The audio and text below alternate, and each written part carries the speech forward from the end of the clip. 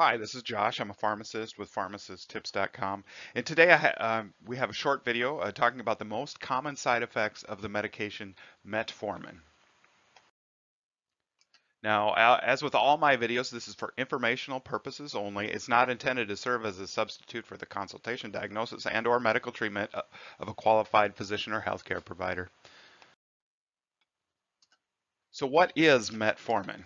It, uh, it's a medication that decreases the liver production of glucose. It decreases glucose absorption in the gut. It improves glucose sensitivity, and it affects something called AMPK. It's, the AMPK is very interesting in the metabolism, um, a subject I may go into deeper at some point, but not, uh, not during this video. I'm going to focus mainly on the side effects.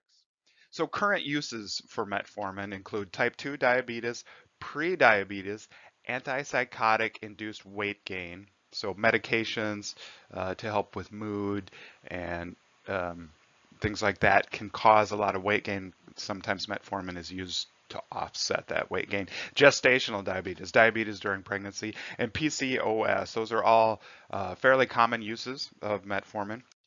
But potential metformin uses are really interesting. We're seeing uh, possibly cancer or even longer survival once diagnosed with cancer, uh, longevity, meaning we could live longer, health span. Health span means not only do we live longer, but we're more active um, and able to function while uh, we're living, not just spending those last 20 years in a nursing home. And more, um, it's it's very interesting. It'll be there's a lot of smart people studying metformin right now, and more potential uses coming down the pipeline.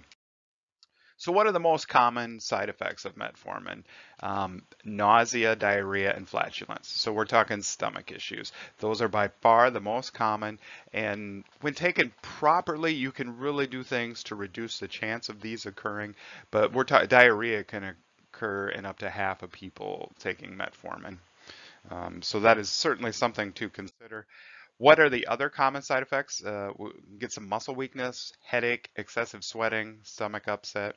Now I do, uh, I have another metformin video where I go into more detail on some of the more less common side effects. So um, you go ahead and watch that if you want to, if you want to learn more about side effects.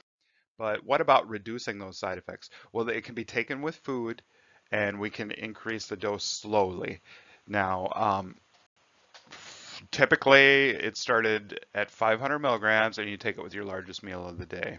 Um, the target dose can be anywhere from 1500 to 2000 or even 2500 depending on the condition. Um, but you want to increase that dose slowly. So a lot of times it's one a day with your largest meal and then you go twice a day and then two twice a day. All depends on how your stomach handles it as you slowly increase the medication. Um, of course, that's something your doctor will help you determine the best way for you to slowly increase that dose. Now, interesting thing is if you stop taking it for even a few days, you may have to restart slowly. You can't go back to your full dose if you've been off of it a while. It's simply the GI or the stomach upset could simply be too much. So keep that in mind. I do appreciate you watching my video. I uh, hope you subscribe to my channel and like the video if you appreciate it. Always talk to your doctor, your healthcare provider with questions about your medications. Um, and if you have any questions for me, go ahead and ask them in the comments below. Thanks again for watching.